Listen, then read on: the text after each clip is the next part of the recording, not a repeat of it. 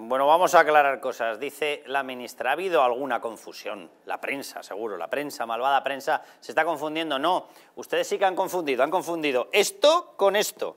¿Le parece fácil de entender? ¿Vale? Grande y pequeño, como decían en Barrio Sésamo. Pequeño y grande. No cabe, cabe. Mira qué sencillo. O sea, vamos a hablar de confusiones, vamos a hablar de confusiones. Dos, dice, no se ha gastado ni un euro. Bueno, vamos a detallar los contratos, vamos a detallar cuál era la adjudicación y qué es lo que está pasando, porque yo tengo mis dudas más que severas sobre que no se haya perdido, amén de tiempo, que se llama dinero, si no tienes esos trenes, no tienes esas relaciones laborales, no tienes relaciones comerciales, no tienes más inversión, señora ministra, se llama perder dinero. Pero amén de eso, del contrato de 260 millones, coste 260 millones, cuidado, cuidado, dice, no se ha perdido nada. Una de las cláusulas indicaba el tiempo de mantenimiento, 220 meses, desde que se empezaba el diseño hasta que se terminaba la supervisión y utilización. ¿vale? Ha transcurrido tiempo, han transcurrido tres años, ¿no se lo van a cobrar? No sé, denos explicaciones. Hasta el momento nos decía que estaban fabricando unos trenes que iban a caber y han presentado esto. Por tanto, no sé muy bien cuál es la carta por la cual ustedes se piensan que tenemos que tener fe.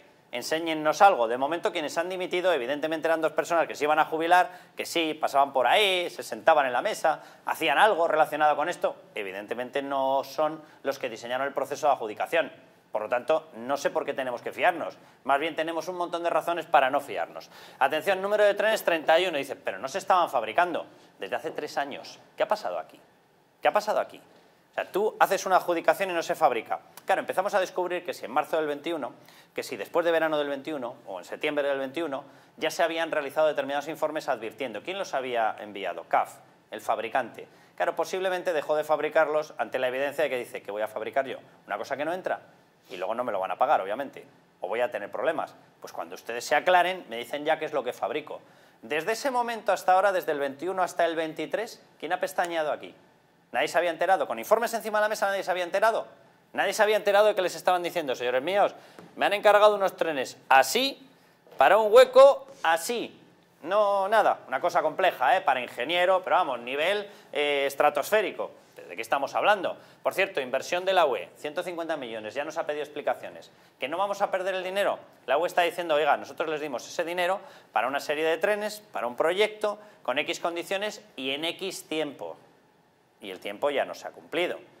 Bueno, de momento nos están diciendo que esto está en duda. Ya veremos lo de que se pierde o no se pierde. Ahora, váyase usted, señora ministra, y se lo explica a la gente que estaba esperando estos trenes como agua de mayo, va y se lo explica. Y dice, no, que no pasa nada, que es que no habíamos construido los trenes.